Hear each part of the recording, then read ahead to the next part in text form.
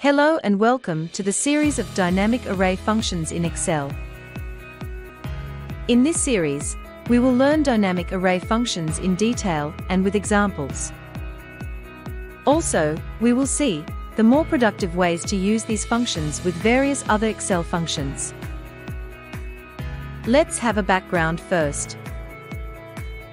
In September 2018, Six new functions were introduced in Excel 365, that is for Office 365 subscriptions. These functions are now available in Excel 2021 too. But not for Excel 2019 and older versions. In Excel, you can find them in Formulas tab. Four functions are under Lookup and Reference group.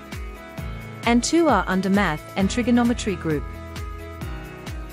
The output of these functions is always dynamic, that's why are called as dynamic array functions.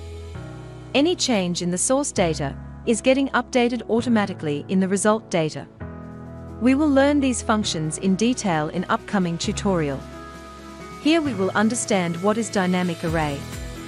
So, let's go back to Excel to understand it with example. Here is the sample data. Let's select any cell, press equal to, select this range and press enter. It will reflect the range as per formula in the first cell. I am using Office 365 version, you may not get such result in older version of Excel. So, the dynamic arrays are resizable arrays that return values into multiple cells based on a formula entered in a single cell. Here the formula is in first cell only, which we can edit. And in the next cell, we can see the formula in grey color, but we cannot edit it.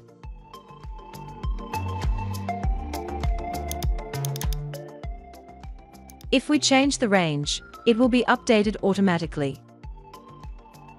The cell format is different here, we can change the format using Format Painter.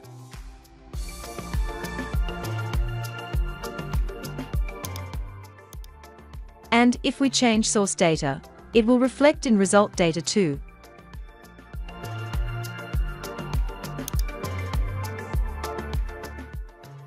The range of cells that contains the values returned by a dynamic array formula is known as the spill range.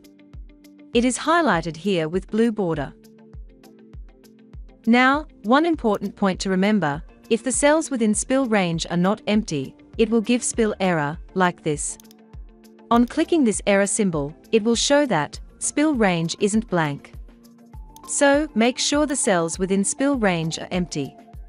Also, it will give spill error if the cells are merged within spill range. For example, if we merge these cells, it will show error that spill range has merged cell. There are few other reasons too for spill error, which we will see later while using functions. As we mentioned earlier, the output of these functions is always dynamic, which we will see in upcoming tutorials. Thank you for watching.